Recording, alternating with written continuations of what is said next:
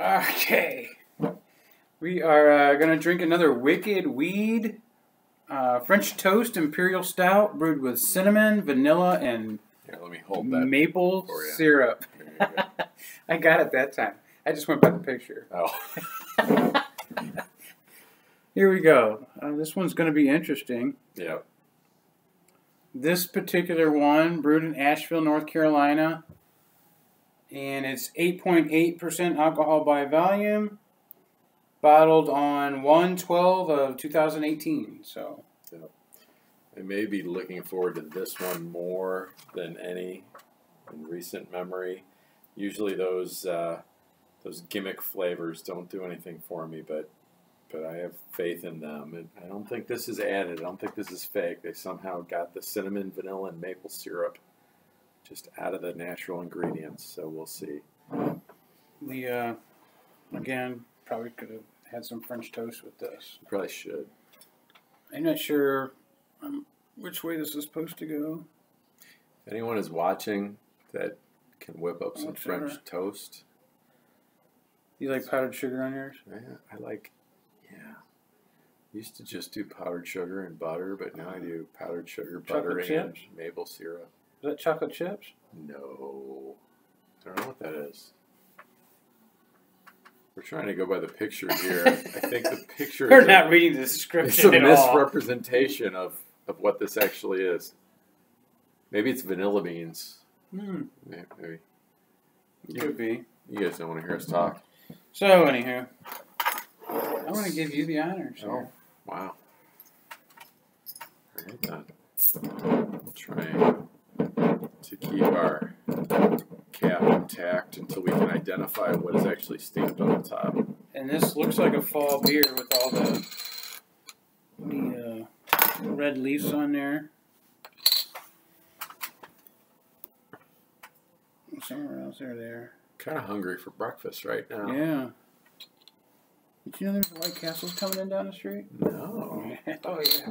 Where the old QT is was. hmm But we digress.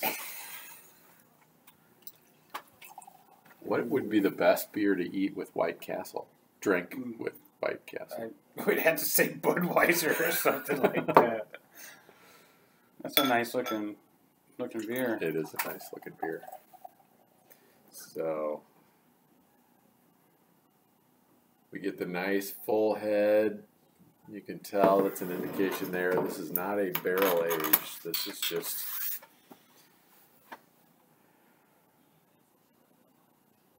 at eight point eight percent. It's almost oh yeah, it is an imperial. Okay. It's a nice looking head. I'm sorry. I think I actually gave myself a little more. I'm gonna do my best to not comment on that statement. I'll give you the goodness though. There. There's a, oh, sorry. That's Every that's time I right. turn, there's another drip. Well, you know, There you go. That might have been the one. that happens sometimes. But all right, So, So. let's get a aroma. oh my gosh, Mm. I'm getting the maple. All right, I'm going to warn you up front. This might be a little longer video. And Jesse doesn't even like stouts that much. I could pour this over breakfast cereal. And, We did have this sit out that. for a little bit. Sorry, I didn't mean to cut you off. No, I'm just feeling it. Yeah, it's nice. It's a little closer to room temperature. A scuttle of dried leaves blowing across the sidewalk, brisk, cool days, filled with invigorating mountain air, the sweet, welcome scent of French toast cooking in our family's kitchens. Alright, sorry. This is winter, and French toast imperial stout is the perfect accompaniment to the season. This robust dark, dark stout is finely complemented by zesty cinnamon, smooth vanilla, and the comforting sweetness of the only I'm sorry, yeah, of only the best maple syrup. Cheers to the season. All right, so it sounds like they brewed this in January for fall. There you go.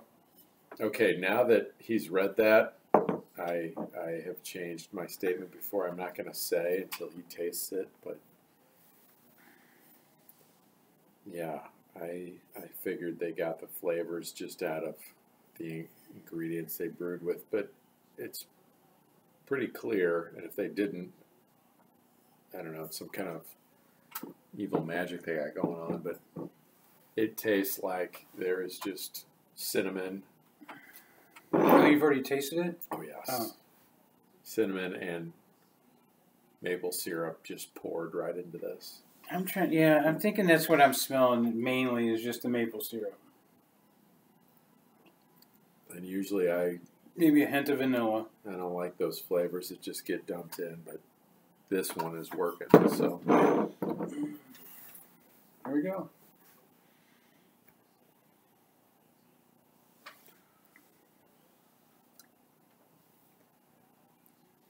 That's nice. It's smooth. What I would like is to use this as the liquid ingredient to bake a loaf of bread and then cut that into slices and then cook it into French toast. And then thicken this somehow and pour it as syrup on top of the French toast. And then drink some with it while I'm eating the French toast. So you want to eat and drink it. Yes. That's good. Uh, at first, at first I didn't get any dryness, but it's dry. Oh. It lingers. A nice lingering sugary Yep. taste. I like it.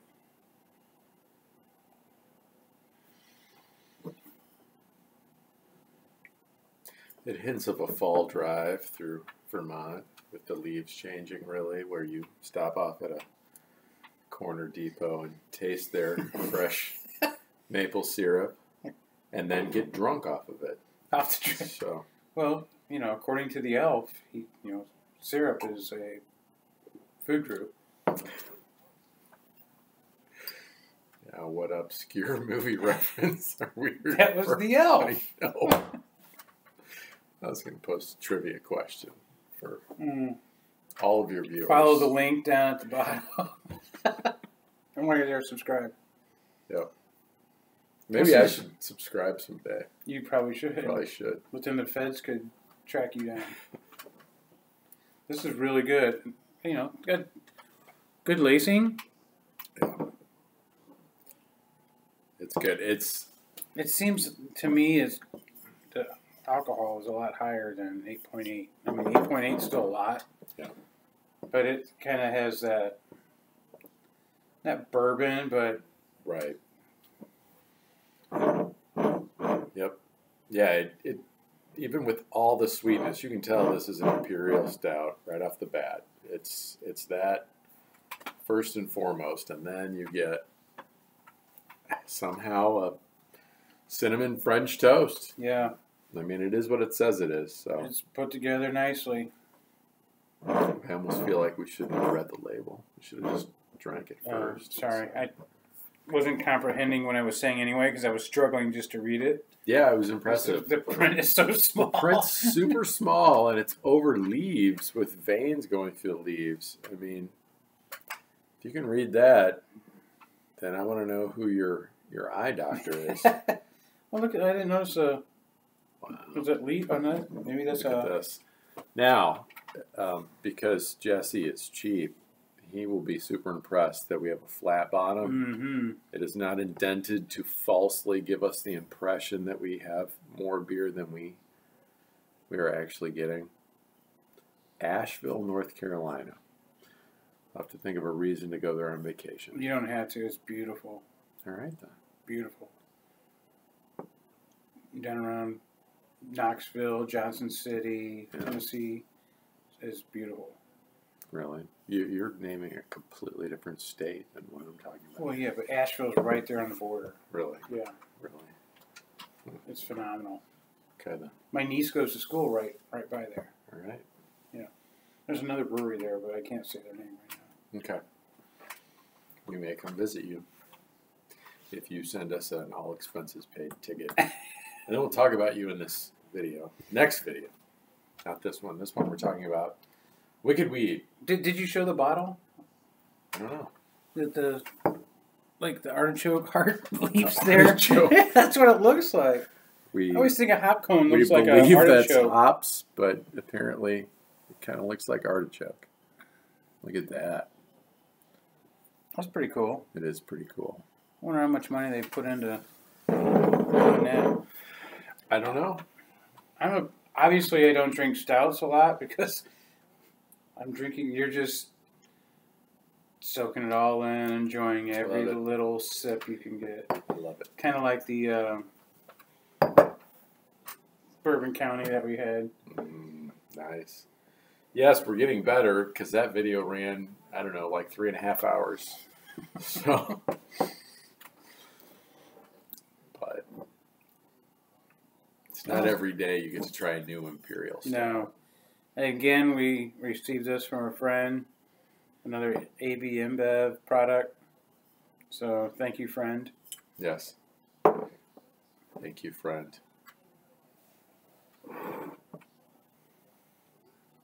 Friend, I'll say it again. I said in the last video. If you run out of space in your house for all this beer, I'll gladly store it for you and drink half to all of it.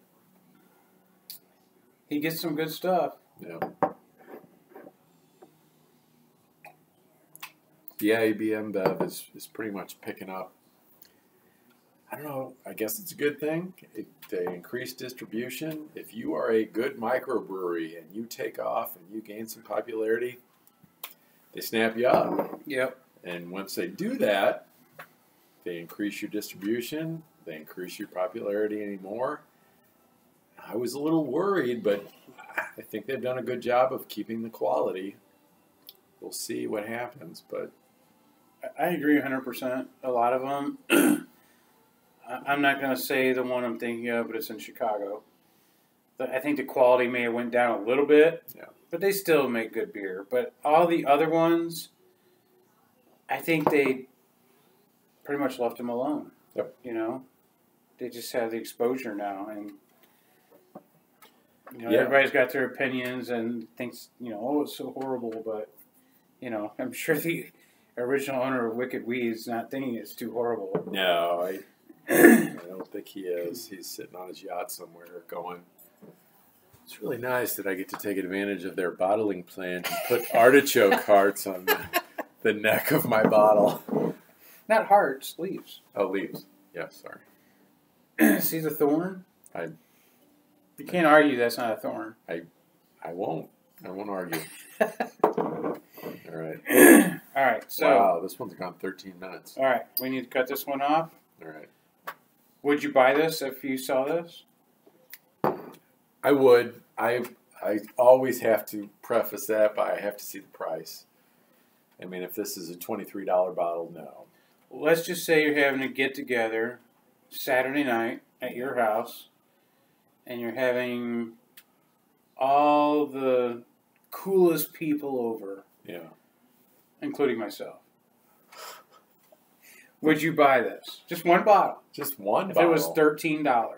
Here's what I would do. I would. I would buy that, something cheap. I would give you guys whatever else I bought, and I would drink that in front of you. And comment about how awesome it is the whole time. Okay. That's why I have no friends other than you. So- That's why we spend our Friday nights doing beer reviews. exactly. Uh, except for that other friend who's going to give me lots of beer. All right, scale one to five. I think I know your answer. I love stouts. Stouts automatically start at a higher level for me. This isn't the probably the best beer I've ever had, but because they said what it was going to be, it's going to be cinnamon, vanilla, and maple syrup in an imperial. That's what it is. So it's a five. That's exactly what they, they tell me it is on the label. That's exactly what I thought you were going to grade it, and that's what exactly I'm going to give it to. But just like the Bourbon County, look at that. I mean, I know there's still some left in there, but I keep drinking it, and it just It's just, it's syrup. it is. But again, nice lacing, real good beer. If you can get it, I would recommend grabbing it. Matt obviously recommends it, so maybe you can make uh, loaves of bread with it, and then make your French toast. Make your it. French toast. You got any final comments? I would probably also go good poured over vanilla, vanilla, vanilla ice cream. So Very cool. While you listen to Vanilla Ice. sure. All right, we'll talk to you guys later.